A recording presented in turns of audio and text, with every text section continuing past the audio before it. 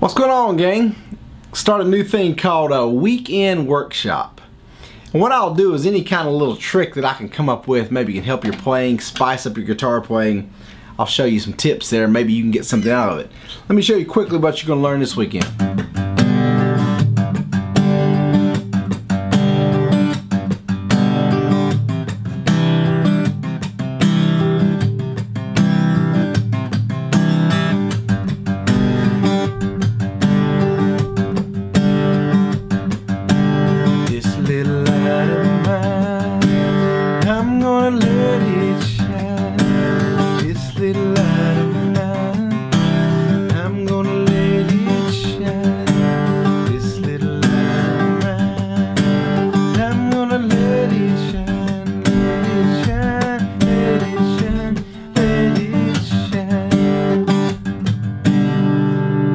Just starting out, you're a beginner, it probably sounds a little complicated, but I'm gonna break it down and show you how easy something like that can be because the more we can kind of spice the guitar up, do little things a little different than just, it makes it more fun there. So what you're gonna do is, you're gonna use three chords, G, C, and D, and you're gonna play it my easy way. This is important.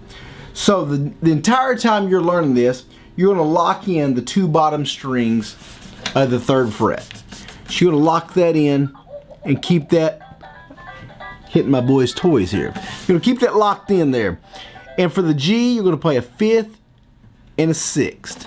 That's gonna be your G chord. For the C, you're gonna keep those locked in and go down to the fourth and fifth. Strum the bottom five.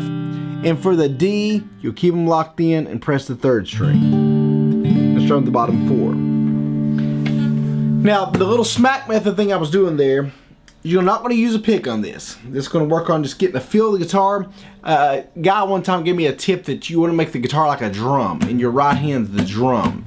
And that really helped me with my strumming and the timing. So, you're going to take your first finger, almost like you have a pick, kind of pinching, and just hit the guitar like this right here. Just hit maybe the top three strings. Just making a noise. That's the first step. You're just going to make a noise. Okay, you're going to Let's start that G chord. What you're going to do is you're going to play a G chord without these top two string, two fingers pressed. You're going to do that smack and then work on pressing those strings that end that G chord and making a sound. So it's going to be a two count. One, two. But you're going to do that total twice. One, two, and then you're going to do a regular strum down.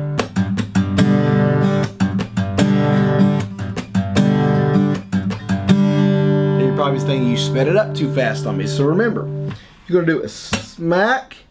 Then after while you're removing your while you're removing your hand, make a sound going into that G chord. So work on keeping these two locked and pressing those top two. So right there. Gonna do that twice. Say it's one, two, three, four. One, two, three, four. One, two, three, four. One, two, three. Four. You can work on that You might even want to hit down here, hit the top. And then after four, you're going to leave that chord on the fourth one. One, two, three, four. And then you're going to strum down. Use your first finger and strum down. So one, two, three, four, five. One, two, three, four, five. One, two, three, four, five. You see how I'm doing that? So smack, noise, smack, noise, and then a regular G. And then you go to C chord, you're going to do the same thing, except of course you're making that sound.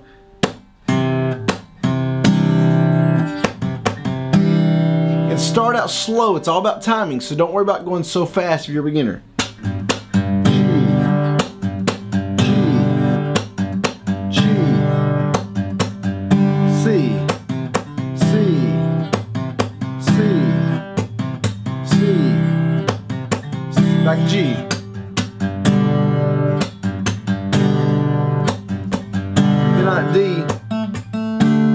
D, you know, I'm, I'm, smacking the bottom there, making that one noise with the third string. So two, three, four strum. One, two, three, four strum. C.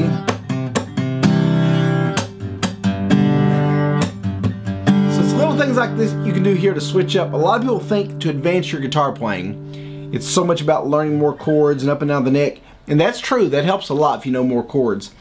But the more you can switch up your strumming and timing,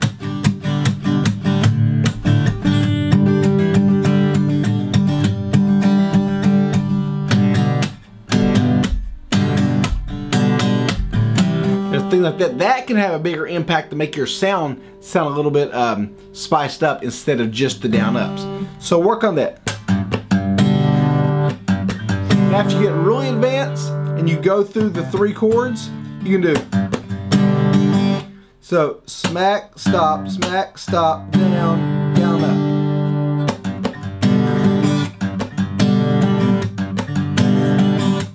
So smack, stop, smack, stop, strum, down, up. And then you repeat that.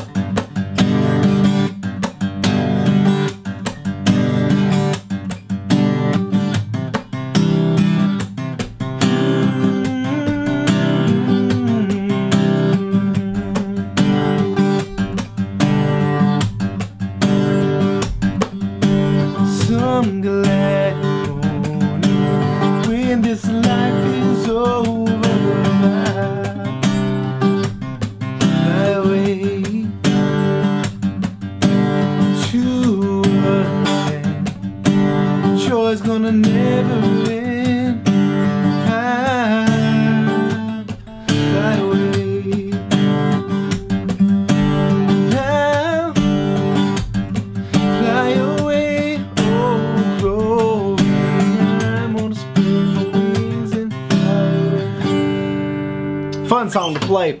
So, um, hope this helps you guys. Weekend workshop. I'll try to start doing these where I get a little more in depth. But that's your first three chords you want to learn: G, C, and D. First G, then G C, then G C D, then G C D, and an E minor down the road. Hope this helps you guys. I'm out. Gotta hit the gym, pump a little iron. God bless you.